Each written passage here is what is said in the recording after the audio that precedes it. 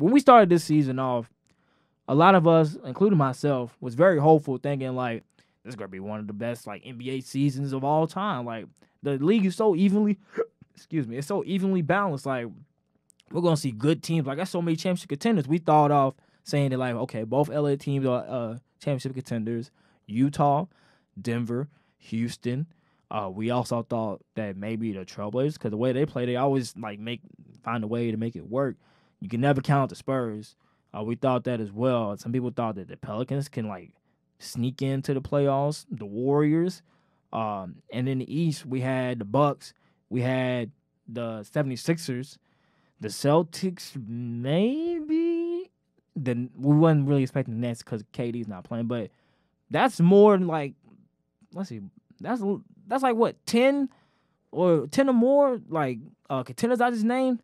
I don't really count them, so don't don't judge me on that. But like a lot of us, we thought like this this is gonna be a well balanced season. Now in January, going into February first tomorrow, we only see really just three NBA championship contenders, both LA teams and the Bucks. Outside of that, like no other teams are like that dominating or they're like like uh like we're not so sure on like even though the Nuggets are tied with the Clippers are now for number two seed in the West. We not not everybody is sold on the Nuggets being championship contenders. They made it to Western semis last year. They lost to Portland in Game Seven. I don't know. I don't know. CJ McCollum, I guess. But oh my my guess. But not not everybody's sold on the Nuggets being championship contenders. They're still re- they still relatively young. Um, I think Michael Porter is playing well right now, and I think eventually, the more he plays, I think next season. I know everybody's like, "Oh, this next season stuff." I think next season maybe they'll have a chance, but this season, I don't see them beating the Clippers or the Lakers if they see them in the playoffs. I don't see that happening. I really don't. Not in a seven game series. Uh, the Jazz, I definitely don't see that happening. The Rockets, we just talked about them. Their defense is abysmal. I don't see them beating the Clippers or the or the Lakers in the seven game series. Um, the Mavericks, they the number six uh, seed in the West, which I'll give credit. My friend George, he he he saw them being in the playoffs uh, this year. I didn't really see that. And like Luka Doncic, yes, he's a great player. Uh, we see that now. Who's obviously an MVP candidate, and Kristaps Porzingis, and the way that Rick Carlisle has been coaching that team, and how they uh, become like one of the top uh, teams in the league in in terms of like shooting threes and just their offensive efficiency. We didn't see that coming, but they're playing really well. But I don't see them beating, like I said, any of those teams. Not the Lakers, not the Clippers in a seven game series because they got some young pieces on that team, and it's gonna take a time for it's gonna take time for them to really gel. And I was hearing them talk about the game before I came over here today. Talk about like how Kristaps is there, he's playing good, but like he's not playing like the Kristaps we saw in New York.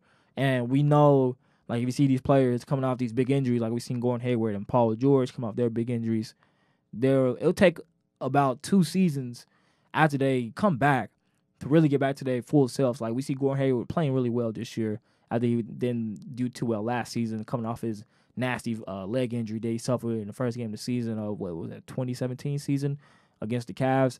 And we saw Paul George when he snapped his leg at the Team USA exhibition. We seen how he played after he came back, and he progressively got better. So it just takes time. So Porzingis will, in in theory, will be a better player come next season. And to seeing him and Luka play together is going to be just crazy to watch because they already got a good team right now with some good pieces around them. I say they they get a, couple more pieces. Tim Hardaway is playing good this year as well. Or Dorian Finney-Smith stepped up. They lost Dwight Powell uh, like last week to Achilles injury. Um, so we seeing some of the pieces that they have. I think next season they'll be better. They'll be a better team, but not this season. They're not ready. The Thunder, shockingly, they're in the playoffs too. But as we like, as we see, as we going down, as I'm going down this uh, standings, like the the requirement to get in the playoffs in the West, because we we always talk about the Western Conference being like, oh, this is such a dominant, it's such a dominant conference. Like, how can anybody beat like anybody in the West? Like, it's so hard to get in the playoffs. Like, now looking at it, the Thunder are in the playoffs with a 29 and 20 record. Okay, but at the AC, this is where it's like, all right, people can hop in here. At the AC, we have the Grizzlies, who nobody, who thought the Grizzlies were gonna be in the playoffs this year so far. Like who? I'm waiting. Not me. I didn't think that. With Ja, I like Ja. I'm a big Ja Morant fan. Shout out Ja Morant. I saw him play EKU last year. Good guy. I like him. He's gonna be a star in this league. who like who thought that, that they would be in the playoffs right now? They have a record of 24 and 25.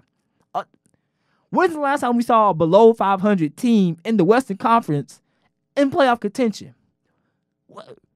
Like when? Like I remember last season, teams was fighting again in the Western Conference last season with the Clippers, the Kings, and the I think it was them two. It's another team. I might not be thinking right now, but like just it like how? And you have below them the Spurs is looking outside the playoffs, which I hope they don't, because then they'll ruin the streak that they have being in the playoffs for about what twenty years or like twenty seasons, I should say, so or, or more. Like that would be crazy if the Spurs they 21, 26. So unless they get go on a run or something, or I, I don't know, the Trailblazers, they they out the playoffs. They number like I said, they a 10 seed with 21 and 27. Then you have like the Suns who's 20 and 27, and the Pelicans, who I thought maybe would sneak into the playoffs at number eight. Maybe not actually. No, I didn't. I didn't think they was gonna make it. I, I had him as a hopeful, so at, like at number nine. But like I, I didn't think Zion would get hurt, he's just now coming back, and they're actually playing really well. Brandon Ingram, who is an All Star, shout out, shout out, shout out 150 Bi man. so well, I didn't see I didn't see Brandon Ingram becoming an All Star, but I know Laker Laker Nation is like fuming right now because uh, where's Kyle Kuzma? Lonzo's starting to play well too. So like yeah, just looking at that, just in the West, like wh- what teams outside the Lakers and the Clippers do you really see getting to the finals? Like be uh, like like I said, I'm a rock. I am partially a Rockets fan because of Russell Westbrook. So that is a team I root for. I am a fan of the Nuggets as well. Not like an actual like hoorah hoorah fan of the Nuggets, but I always liked them just for over the years. I just like their style of play. They always been fast paced and they always been fun to watch throughout the years. From Carmelo to uh AI when AI Melo was there to when uh Ty Lawson was there with Kenneth Faried and Iguodala, Randy Floyd. Just different like I don't I just like them for years. I don't know why. I don't know. And the Nuggets is also a cool name to me, and their colors are cool. I don't know, it sounds childish, but well, who else really seen them? Like who else? Who else do you see in that? And then if we go to the Eastern Conference, like the Bucks, who I didn't even think was gonna be as good this year. I I thought with them losing Malcolm Brogdon will hurt them a bit, but this team got better. they gotten better with the, like what they have. So they got they lost Brogdon. They um they had everybody else to stay there. They lost who else? They lost another a good bench player too. Um, damn. I don't. I can't think of it right now. My my mind's blank for it. But we all thought they wasn't gonna be the number one team in the East. We all thought it was gonna belong to the 76ers. But the Bucks have the best record in the league right now, 41-6. And I say Giannis Antetokounmpo is gonna be MVP again. Because how can you not how can you deny this man's play? Like he has the best record in the league. He has crazy numbers. Going last time I checked, he was like what thirty points, uh, what fifteen re- uh, rebounds or, or, like twelve rebounds a game. I just uh, I said fifteen. That's Jesus. This man had fifteen rebounds. God, about twelve rebounds a game. Has the highest PER in NBA history. Like what? Like, this guy's crazy. Like he's carrying like this team, and we've seen them play well without Giannis being there. Like last week, Khris Middleton dropped fifty one points who I didn't think was gonna be an all star again this year. He's still somehow being an all star because he hasn't been playing as well, but he's stepping up recently. And like this team is a well coached team under Mike Budenholzer, and they got some good pieces around them. With Eric Bledsoe, George Hill, Wesley Matthews was a good addition. Kyle Korver. They got Robin Lopez uh, as well as Brook Lopez, who's been there. So we and we seen these pieces going around Giannis, and like it's you.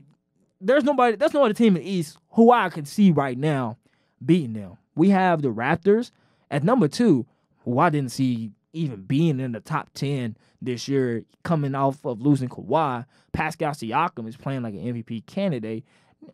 Not top five, as some people would say, but he's he's he's like number seven if you want to do a top 10 list of MVP candidate, but he's playing really well. Uh, and just that team in general, you having, I think last time I checked, I think Pascal was averaging 23 points I think last time I checked.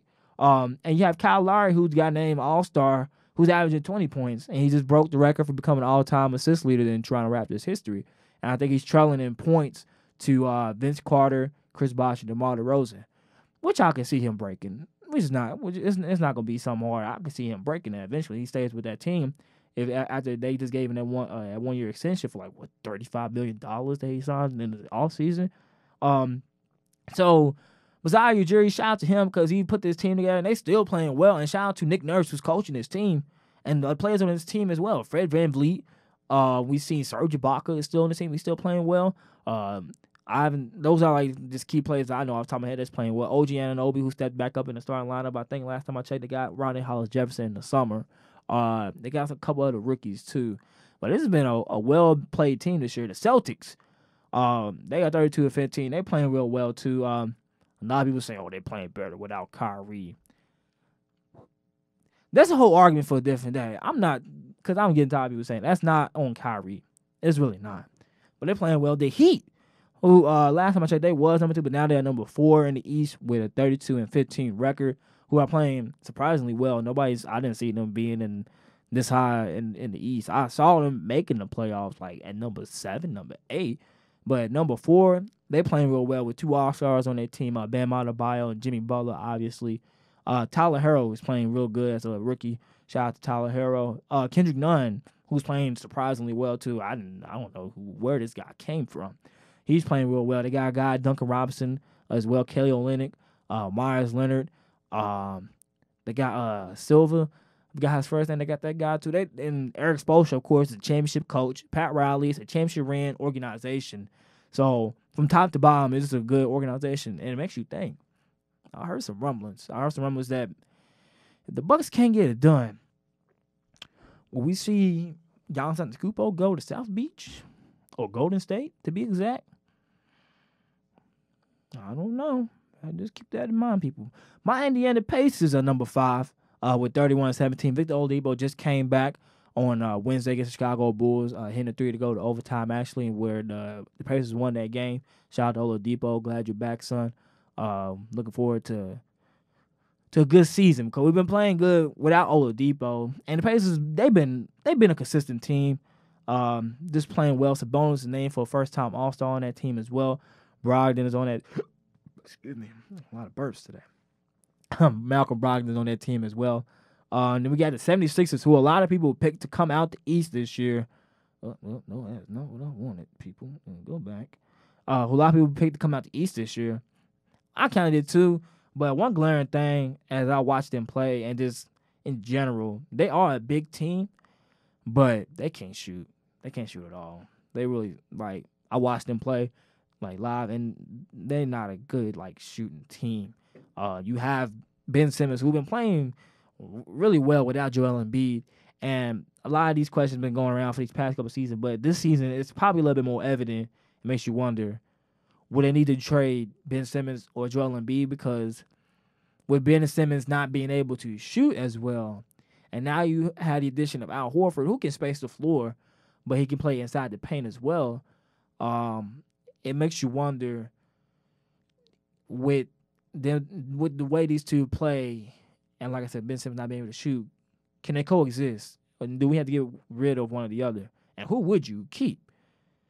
Which is a good question. I consistency wise, Ben Simmons is better because he hasn't he doesn't get hurt as much, and he's a point. And he's such a like we don't see us like he's seven, like six foot ten, almost seven foot point guard with his ball, like his his way he plays in transition and his passing ability and like just having such a big guard, such a it's just a good person to have. And he's he's he's good, averaging what 16, 8, and 8. He's good. With Joel Embiid, who's been considered like one of the best centers in the league.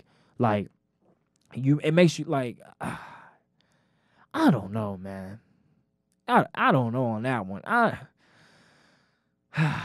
let's see how Joel Embiid plays the rest of this season. I'll go from there because I don't know. Cause Joel is really good too, but like I said, he gets hurt a lot, and that can hurt a team, especially if you get rid of Ben Simmons. Because Lord knows if Ben Simmons wasn't there, God, that team would be abysmal. At least in my eyes. Because Tobias Harris, highway highway robbery of the century, man. 180 million dollar contract. For what? For what? What did he do? What did he do to get 180 million? I don't know. You got your money, players. Salute to you, dog. But hey, I don't know. The Nets are number seven uh, with 21 and 26.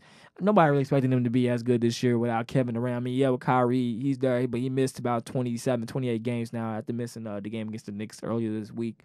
Um, he's they have they haven't been playing as well, and they're still trying to figure it out. And that whole controversy of like Kyrie's comment that he made a couple weeks ago, talking about they need one or two pieces to compete for a championship, which I believe so too, because people will say, "Oh well, well Kyrie, he he's there, he should step up the team," but it's like we see how they play without Kyrie there, and people like, "Oh well, they a six seed last season with D'Angelo Russell." Yeah, I mean that was they linger around the same like the same like area, same seeding as they was last year with without Kyrie, and now Kyrie's back and he's playing more consistently. I will hope they get better and maybe rise to a fifth seed. But if that happens, I hope the Pacers rise up so they don't fall. Um, but championship expectations was not one of their things this season. They not they wasn't going this season expecting championship expectations. This is kind of like a trial run to see like how the team is going to run with Kyrie. Because when Kevin Durant comes back next season, they a championship contender. Like it's that's Kevin Durant. Granted, he tore his Achilles. Kevin Durant with a torn Achilles, he'll I'll say at most this man averages twenty five. He averages twenty five. Put up, I say I think he'll get like what seven rebounds, about what four assists. That's still pretty efficient. And you know Kevin Durant's efficient, very efficient guy. And just having him on the floor, it's, a game changer. Going alongside with Kyrie, Spencer Dinwiddie, um, and those other guys like Jarrett Allen, and uh, it Wilson Chandler's coming back to Garrett Temple, like it's uh, Joe Harris. Like they got some good players, but it's just they just gotta find a way to just get it together. And the Magic that at the eighth seed, they always make the playoffs uh, at least some way somehow. They I don't know, I don't pay too much attention to them. My cousin's a big fan of the Magic, but hey, that's not my team. But yeah, that's just like the whole point of like there's really only three championship contenders now when we really just look at it. There's only three just championship contenders. So it's like, is is this what we thought the season was going to be like? No. Is the playoffs still going to be interesting? I believe so. I think there's still going to be some good matchups in the earlier rounds, but as as the games progress and as we get to the later rounds, we know in my mind it's going to be the Clippers and the Bucks. That's what I think it's going to be. I unless they find a way to beat Giannis again in the playoffs and like slow him down and get him out the paint. Which which team will do that? I don't know. The Celtics is too small to me. The Raptors, Oh, the Raptors beat them again. Oh wow, that'd be crazy. Um, the Heat, they're small too. Uh, I don't think I don't see them doing that. So I don't know. I I say the Clippers win the championship this year. I don't care what you Lakers fans think. I don't care what some of you basketball pundits think either because of Kobe's death that the Lakers gonna go harder, LeBron will go harder. Kawhi Leonard Paul George are fans of Kobe Bryant as well. And they're also a better team than Lakers they're going to championship and they will win. Mark my words.